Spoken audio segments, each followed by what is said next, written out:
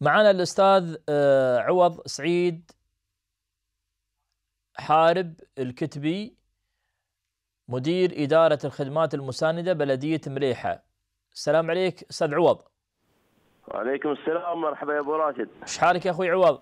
الله يسلمك يا أبو راشد. الله يعطيكم الصحة والعافية يا رب. وياكم يا غالي الله يسلمكم. اتصل بنا الأخ سلطان عبد الله نعم. يتكلم عن وجود جراج البلدية أو هذا موضوع جراج البلديه بعد الحين بكلمك في موضوع آه، جراج بلديه آه، مليحة. نعم. وأنا ناسي الحين سبحان الله يوم قلت ذكرت الموضوع الحين بقول لك آه، على الهواء مباشرة يعني. الأخ الأخ يقول انه آه، مسبب روايح ومسبب إزعاج وعمال وهناك مشتل وهناك آه، آه، أسمدة وهناك آليات وكرمك الله مجاري وغيره. وشعبيتهم إلا قريب من ال- المسائل هاي كلها. فهل في حل للموضوع هذا؟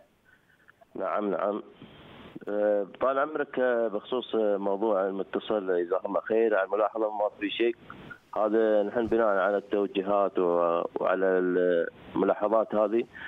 بالنسبة للجراج هذا مثل ما تلاحظ صار له 20 سنة تقريبا وما أكثر.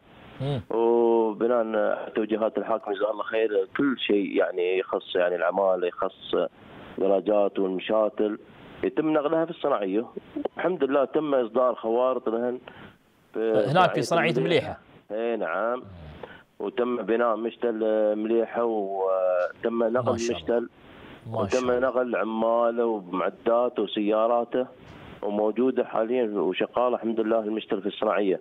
بناء على الجراج العمالة اللي باقي اللي فيها ومثل ما يقولون السيارات يمكن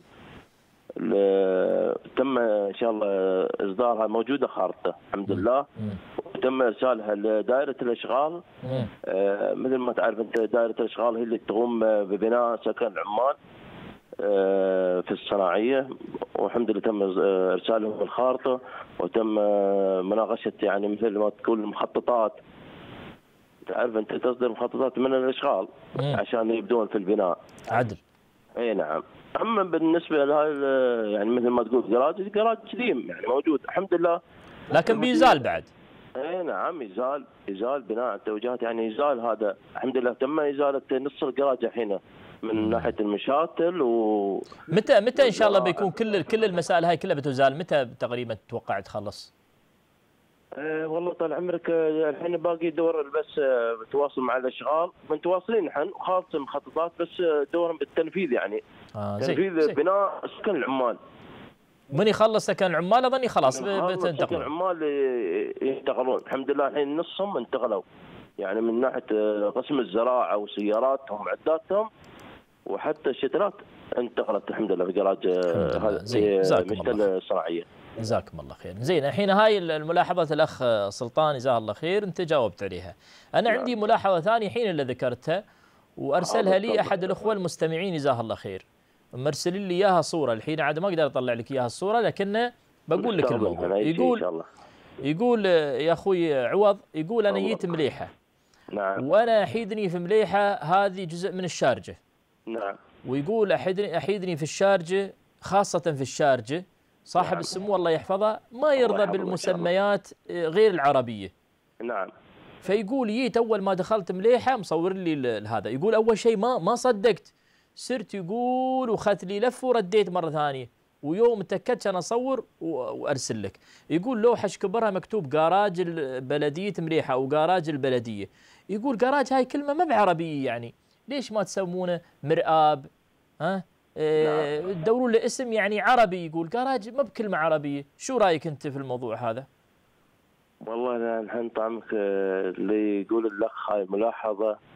هذه كانت المسميات قديمة يعني عرفت؟ وكان اللوحة قديمة نفس ما يقول نفس ما قلت كان من 20 سنة تقريبا. إيه. إيه. أما بتشوفون له- زي جديد بتشوفون له حل هذا أنتم بعد. حتى الخوارض الحين صدرت الجديدة ما يكتبوا لك جراج البلدية. آه. يعني يكتبون؟ حتى اليوم حتى اليوم يقول لك أنا ما أقول لك آه، مسمى قسم الزراعة قسم المشتل المش- المشاتل والزراعة. إيه، إيه. إيه. مسميات آه، لأن الجراج لأن لأن هاي كلمة. جراج كلمة جراج الأخ اللي باعث الرسالة يقول ترى هاي كلمة ما بعربية دخلت علينا على اللغة العربية وللأسف هاي كانت نحن قديمة يسمونها صح نعم. هاي اللوحة كانت قديمة حتى موجودة قديمة اللوحة. بس شاء الله بتشوفون له حل. أنتم بتشوفون له حل إن شاء الله هذا نفس ما قلت على المبنى الجديد فحتى هاي اللوحة يمكن إن شاء الله نغيرها بعد. جزاك الله خير يا أخوي. عوض وما قصرت وياك الله يجعل. بميزان حسناتكم. جزاكم الله خير أنتم بعد على مشكور. واستقبالكم مشكور مشكور جزاك الله خير جزيل الشكر. للأستاذ عوض السعيد حارب الكتبي مدير إدارة الخدمات المساندة بلدية مريحة مشكور ما قصرت